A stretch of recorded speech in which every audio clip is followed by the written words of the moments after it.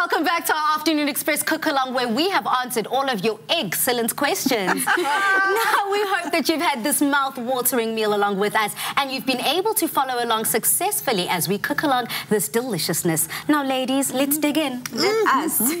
the souffles are divine. I'm tasting mine. I taste the mustard.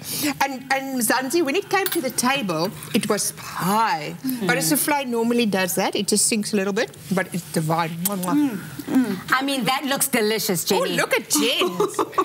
Have a look at that, people. Oh. And I was so panic struck. Mm. I really was. So this is what's interesting to me, ladies, about food and finding out things in the kitchen, is that I thought that my souffle, I had nailed it, but it turns out that I actually didn't fill it up enough. So it actually didn't raise as much as I needed it to raise. But here is Jenny's, and she was so scared. And now look. It's fabulous. And you know what? Um, sometimes if you have too much mm. filling, you can just make a little collar, a little greaseproof mm. collar, so that you can take all of the yeah. all I don't of, understand what filling. you just said. Please say it again. Okay. so, so just say, just say sometimes you want it to rise up, yes. really rise up. Like so, the chefs, like, like the chefs television. One. Yes. So then you just take some greaseproof paper, stick it on the inside, oh. standing up like mm. that, and then you put your filling in, and it'll just keep rising. Mm. Yeah. That sounds like a delicious trick. I mean, yes. I'm very excited to get into everything else we cooked today because we definitely did make a treat. But Dumza, you haven't answered my question, my love. Well, before I go into that question, I just want to say this is quite an extraordinary meal to be sharing with such excellent women.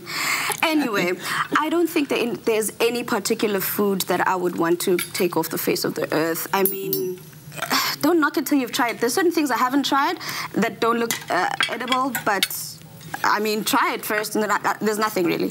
I want to retract on what, what I said. mm. um, I've tasted Mopani worms, and? and? I think it must go off the earth. I it, have it mustn't go off the earth, but it mustn't go on my plate. well, I know everyone from Limpopo and Polokwane and Giyani are all saying, I never South Africa. I mean, I love the fact, though, that we are introducing each other to new ingredients in the kitchen. Mm. I know for myself, South Africa, my number one um, ingredient has to be, funny enough, an eggplant. Oh, wow. Speaking about eggs, yeah. aubergines for me are just a no-no. But Anele made me a delicious aubergine puree mm. on social media, on YouTube. Just go back to our two weeks ago, mm. our cook-along. It's like a Turkish dish. And yeah. we made yes. such a delicious Turkish dish. Mm. But join us again tomorrow for our Wellness Wednesday edition of Afternoon Express. Until then, stay safe, good night, and happy eating.